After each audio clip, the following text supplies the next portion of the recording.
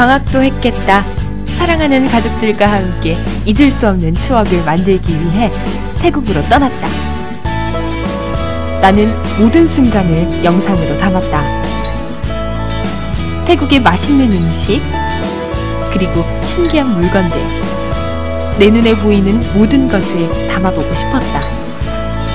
순간순간이 내겐 너무나 소중했기 때문이다. 태국의 귀여운 코끼리와 멋진 진리의 성장. 여행을 다니는 모든 순간이 행복했다.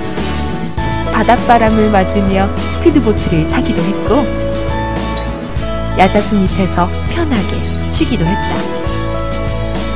그리고 예쁜 꽃들도 환하게 우릴 반겨줬다. 멍 때리며 걱정 고민들은 잠시 내려놓기도 하고 오직 그 순간만을 즐겼다. 새로운 곳을 찾아 떠나는 것은 언제나 흥미롭다. 그리고 설레기도 한다. 이것이 여행의 진정한 묘미가 아닐까? 세상은 진짜 넓고 동네에서만 놀기엔 너무 아깝다. 태국 여행은 평생 잊을 수 없는 여행이 될 것 같다.